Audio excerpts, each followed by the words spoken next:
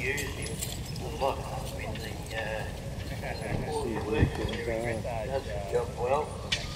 When you're doing the horse work, you must have a horse that travels a constant speed. Because the speed that that horse travels at determines the length of the chaff he cuts. We want it probably uh, about two and a half centimetres, length. Uh, but if they go too fast, they get a little much shorter than that, so you get a lot of dust. If he goes too slow, they get long bits of horses don't like that because it's too hard to chew.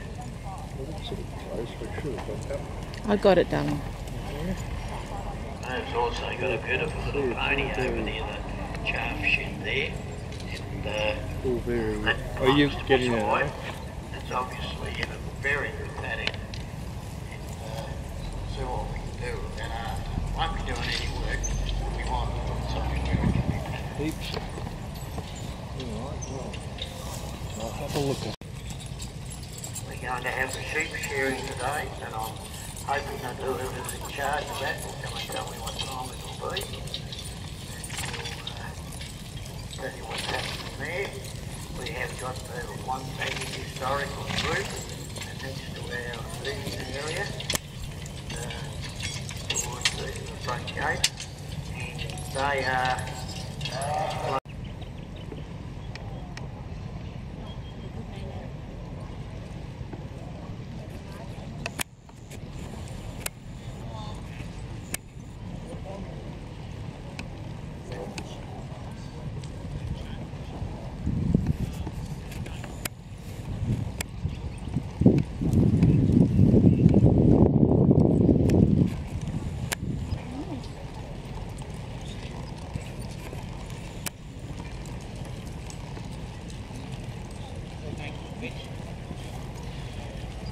Come on.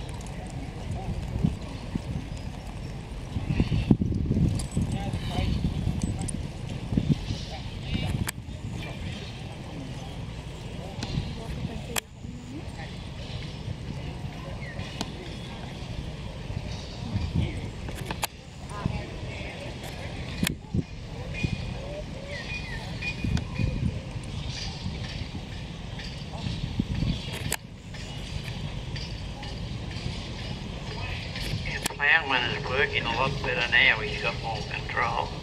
heaps, heaps of dust. There you go. Uh, that's what it used to do years ago. Make it a quick basket, two lids. He's wearing his white apron, he'd be going up the street, the horse would follow up the street and him up. Us kids get up there and we a, uh, a roll or something and uh, get our loaf of bread. By the time we got it back to the house, we'd have the end picked out of it. It was beautiful.